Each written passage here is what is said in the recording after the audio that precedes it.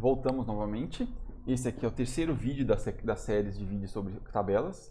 Nesta, nesta parte a gente vai aprender a fazer tabelas flutuantes e com legenda. É, essa é uma coisa muito interessante porque as pessoas que tem, fazem tabela na Tech tentam fazer tabelas que nem no Word. Até agora a gente fez tabelas como vocês fazem no Word. Você coloca a tabela e onde você colocou ela fica. É, qual que é o problema, o inconveniente disso? Para isso eu vou usar o pacote Lipsum.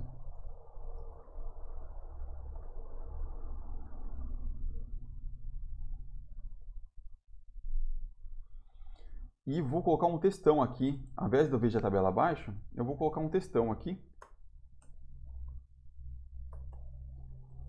Uh, vamos pôr de 1 até 3. Vamos colocar 3 parágrafos, ver se consigo estragar já meu texto.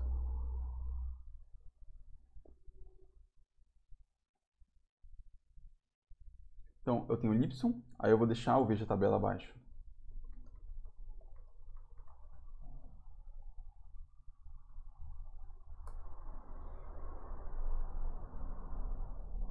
Olha o que aconteceu. É, veja a tabela abaixo e a tabela não está abaixo, está na outra página. Esse é só um exemplo de vários problemas que podem acontecer quando você é, coloca uma tabela que está fixa no seu texto. Isso não, isso não é um problema muito sério, né? às vezes a tabela fica muito grande, ela fica aqui, né? ela ocupa uma parte do número, pode acontecer várias coisas interessantes e ruins, né?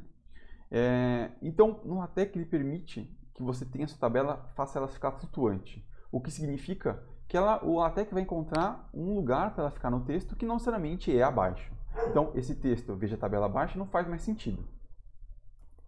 E o comando é muito simples. Você vai pegar a sua tabela, você vai remover, a gente vai remover esse center, que tem uma parte específica para ele, e você vai fazer, colocar o tabular dentro de um ambiente chamado table.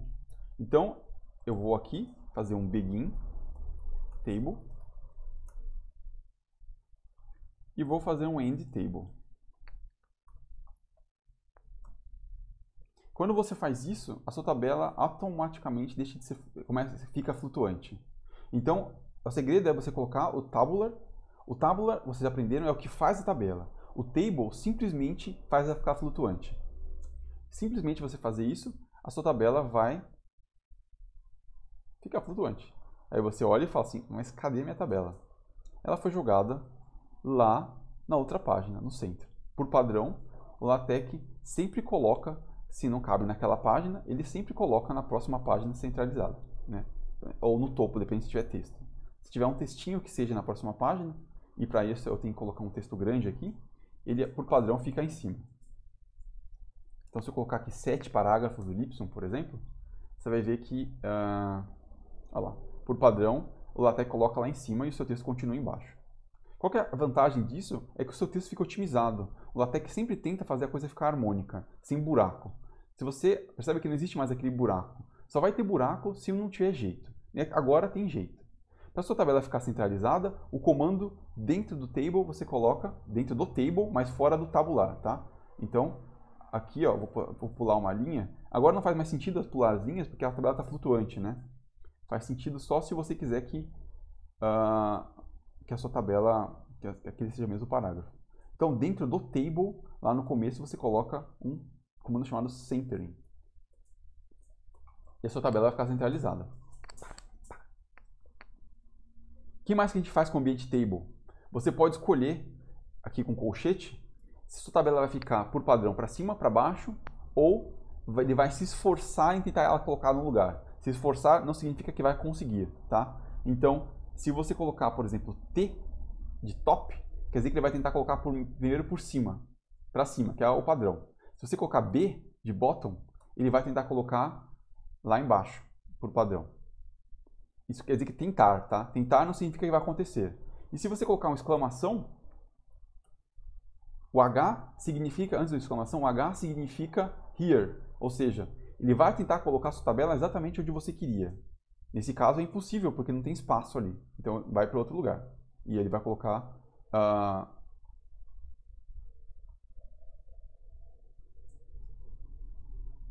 Ah, aqui ele conseguiu, né? Ele conseguiu porque eu coloquei um monte de texto e aí ele colocou bem no lugar onde ele queria, embora ele não gostasse disso.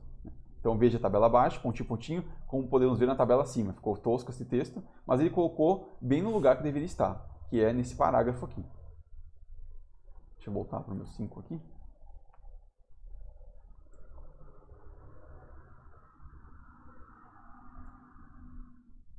Então, nesse caso aqui não tem muita opção. Né? O here não funciona porque não tem espaço aqui.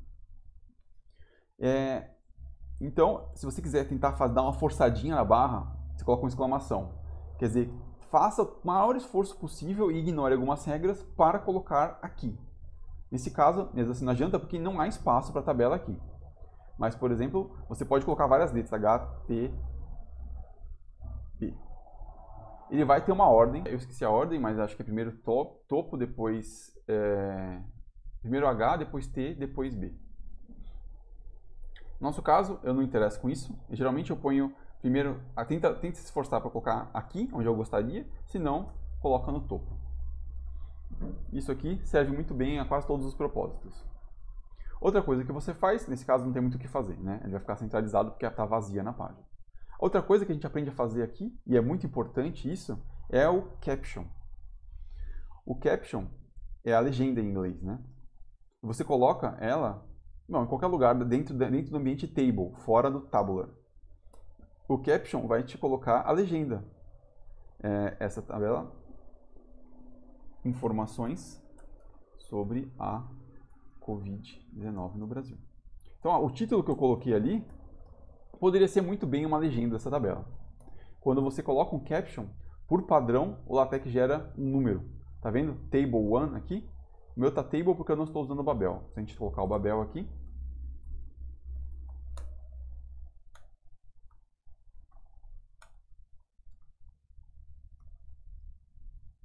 vira tabela 1. Por padrão, ele coloca né, tabela 1, então ele dá uma, uma nomenclatura automática para ele com o caption que eu coloquei por, por padrão também é embaixo. Né? Não é só porque eu coloquei aqui embaixo, ele coloca sempre embaixo. É, para que, de, que, de que raios a gente coloca essa tabela aqui? Como não faz mais sentido falar na vez de tabela abaixo, ou como podemos ver na tabela acima, a gente agora tem um número para referenciar. E essa é, é uma coisa super legal do LaTeX. As tabelas flutuantes te obrigam a não usar textos como, como pode ver na tabela abaixo. O que naturalmente já é errado, porque a gente deveria referenciar a tabela. Toda tabela deveria ter uma legenda. Né? a menos, menos tabelas toscas e pequenas. Então, ao invés de usar a veja tabela abaixo, eu vou fazer uma referência. Para fazer uma referência, a gente usa o comando label. E é muito importante isso aqui, que o comando label venha sempre após o caption. Senão, a sua, a sua numeração vai sair errada. Para você garantir que não vai ter problema, você pode colocar dentro do caption. Né? Ou dentro ou depois. Eu vou colocar depois. Então, eu vou colocar aqui label, primeira tabela. Um label é como se você desse um apelido para aquela tabela. Quando você roda, não acontece nada, só colocar o label, mas você deu um apelido. Esse label também é dentro do table e fora do tabular. Ou seja, só uma tabela, o table pode ter labels e captions. A tabela, o tabular, não pode ter. Nada mudou, só que agora você pode referenciar isso aqui usando a comando de referência, que é ref. Então, veja a tabela abaixo, vai ficar veja a tabela ref até a, tenha completo automaticamente. E aqui, onde eu tinha escrito como podemos observar na tabela acima, é como podemos observar na tabela barra ref, primeira tabela.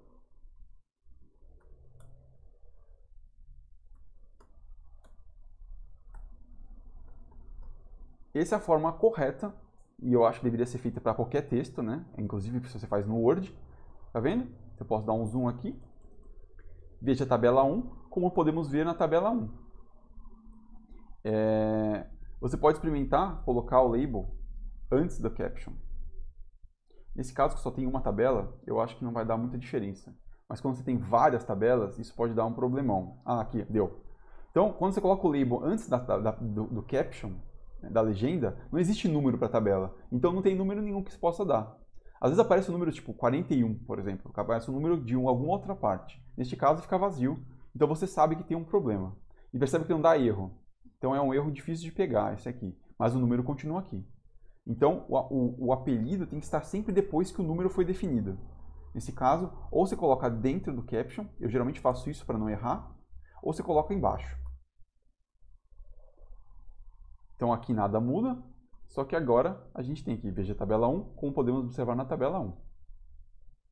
E é isso que a gente faz no básico de tabelas e tabelas flutuantes. Eu deixo como exercício para vocês, pessoal, né? não precisa ser, ser entregue, vocês tentarem fazer essa tabela aqui. Eu removi as linhas verticais, fiz algumas outras coisas, né? Pode ver aqui que agora o PC está alinhado centralizado, estado também está alinhado centralizado. Então você pode tentar se divertir tentando fazer uma tabela igual a minha.